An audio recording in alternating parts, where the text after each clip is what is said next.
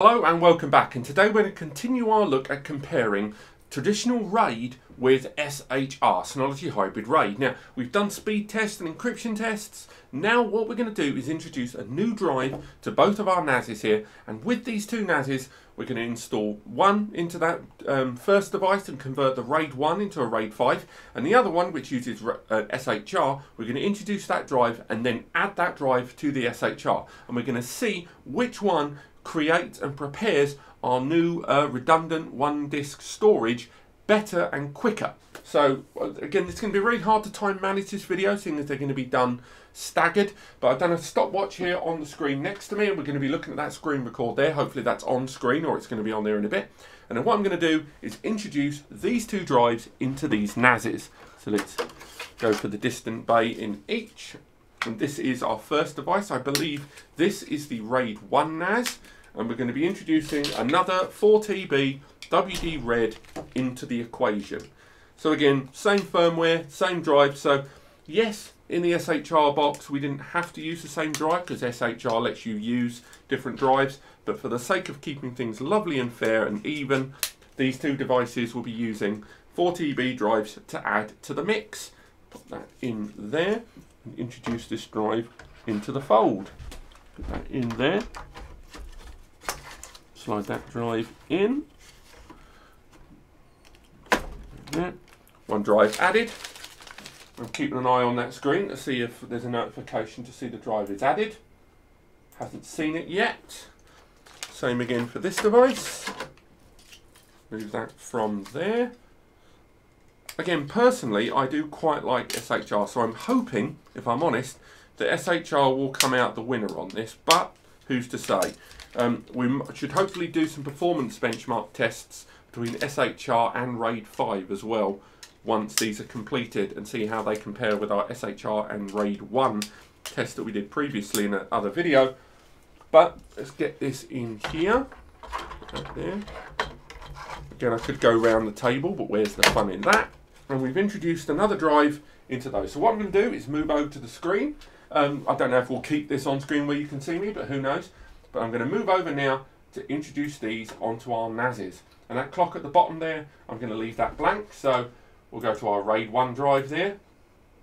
Also go into the storage manager on the SHR enabled one. We'll go into the storage pool and see if we're able to change the RAID. So we'll change the RAID type here and we'll add this to a RAID 5. Meanwhile on the SHR, we'll move over to the storage pool there and we're going to add disk and this, this would be the way in which we would add further storage to these both of these devices. So we can either add another mirror disk to the RAID 1, so in other words, you can have a RAID 1 that has two disks of redundancy, uh, which is huge overkill, but some people may need that level of redundancy. But as you can see, both of these devices, they've got that 4TB, and we're going to add a disk to both of these to see how long it takes for each. This will obviously erase the new drive, same notification for both. And we're adding a drive to them now. As you can see, the capacity has is going to increase on both of these NAS devices. And what we're going to see is how long it takes the RAID 1 to convert to a RAID 5 against the SHR adding a brand new drive. So while it's doing that, why don't we start the clock now? And both of them are going to be having the adding of the disk or the changing of the RAID. And then what we're going to see is a percentage there that shows synchronicity or synchronization as well as checking consistencies and overall stability of this RAID.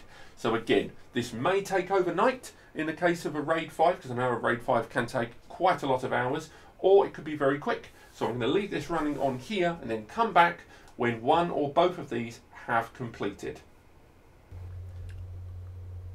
Well, welcome back everyone. I don't know about you, but I've had a very good night's sleep. And here we are, 25 hours since I've last set up this RAID reconfiguration. And straight away, let's look at those results. Right now, the RAID 1 to RAID 5 change is at 39%, whereas the SHR is at 85%. Now that is a good sign. It's going to mean that the SHR is complete first. And don't get me wrong, I know strictly this isn't the fairest of tests because we are changing a RAID 1 into a RAID 5. Uh, whereas in the case of SHR, we are just adding another drive to an existing system known as the SHR. But I do think it is worthy of discussion because so many of you out there add drives gradually that the idea that you would order a 4 bay NAS and only put two disk drives in a number of you are going to make that choice between RAID 1 and SHR early on. And right now I can tell you that it definitely seems more advantageous to add drives to an SHR than it is to convert a RAID 1 into a RAID 5. Now, I might carry on doing this and let it get to the completion point to see just how long both of them take. And we'll keep them, the camera running and then I'll switch back to it later on and involve you guys in that.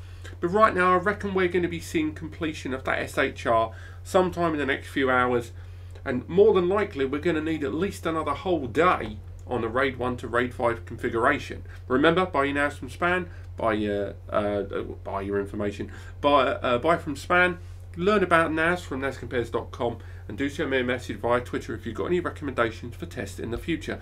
The next video I'm going to be doing after this is completed, um, in the next part of this, and I'll probably feature how long this took, I will be pulling a drive from both of these devices live. When I do pull that drive from both of, both of the individual units, I'm going to be then performing read-write actions to the volume.